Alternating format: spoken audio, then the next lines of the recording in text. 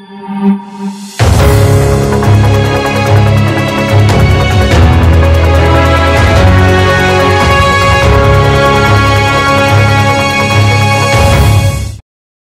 రాష్ట్ర ప్రభుత్వం ఆర్టీసీ బస్టాండ్లను దశల వారీగా ప్రైవేటు వ్యక్తులు సంస్థలకు లీజు ప్రాతిపదికన కట్టబెట్టాలనే ప్రయత్నాలను విరమించుకోవాలని డిమాండ్ చేస్తూ ఈ నెల పద్నాలుగవ తేదీన కడప నగరంలో ఉన్న ఆర్టీసీ ఆర్ఎం ఆఫీస్ వద్ద నిరసన కార్యక్రమాన్ని నిర్వహిస్తున్నట్లు సిపిఎం కడప నగర కార్యదర్శి ఏ రామ్మోహన్ తెలియజేశారు. ఆదివారం నాడు కడప నగరంలోని పాత బస్టాండ్లో ఉన్న సిపిఎం కార్యాలయంలో ఏర్పాటు చేసిన విలేకరుల సమావేశంలో సిపిఎం నగర కార్యదర్శి వర్గ సభ్యులు చంద్రారెడ్డి నగర కమిటీ సభ్యులు ఎంఆర్ నాయక్తో కలిసి ఆయన పాల్గొన్నారు. ఈ సందర్భంగా రామ్మోహన్ మాట్లాడుతూ రాష్ట్ర ప్రభుత్వం మొదటి దశలో మదనపల్లి బస్టాండును ఎంపిక చేసి ప్రతిపాదన సిద్ధం చేశారని దీన్ని తక్షణమే ఉపసంహరించుకోవాలని డిమాండ్ చేశారు. ఆర్టీసీ బస్టాండ్లను ముప్పై మూడు సంవత్సరాల పాటు లీజుకు ఇచ్చి ప్రైవేటు వ్యక్తులకు కట్టబెట్టాలనే చర్యలు మానుకోవాలని డిమాండ్ చేశారు.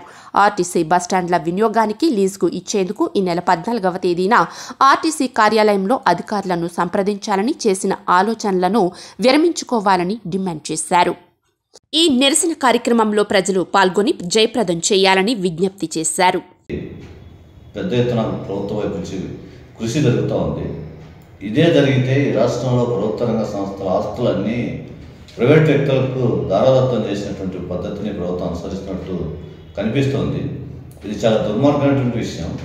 ఇటీవల మదనపల్లి ఆర్టీసీ బస్ స్టాండ్ని ప్రైవేట్ వ్యక్తులకు ఇవ్వడానికి ముప్పై మూడు సంవత్సరాల పాటు బీఓటీ పద్ధతిలో లీజుకి ఇవ్వడానికి ప్రయత్నం చేస్తున్నట్టు పత్రికలో వార్తలు వస్తున్నాయి.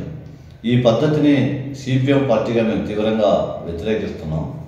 చాలా కాలం పాటు అనేక మంది త్యాగాలు చేసి ప్రభుత్వ రంగ సంస్థల్ని ఆస్తుల్ని కాపాడుకుంటూ ఉంటే ఇప్పుడున్నటువంటి రాష్ట్ర ప్రభుత్వం ఆదాయ వనరులని పెంచుకునేందుకోసం కొత్త పద్ధతులు పాటించి ఆ రకంగా ప్రభుత్వ సంస్థల్ని ప్రైవేట్ వ్యక్తులు కట్టబెట్టేటువంటి విధానాన్ని వేగవంతం చేసింది.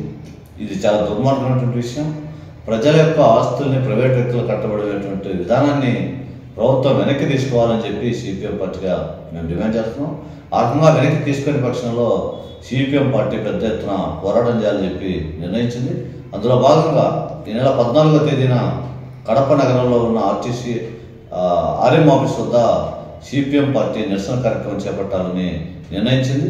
ఈ నిరసనలో ప్రజానికం పాల్గొని జయప్రదం చేయాలని సిపిఎం పార్టీగా మేము విజ్ఞప్తి చేస్తాము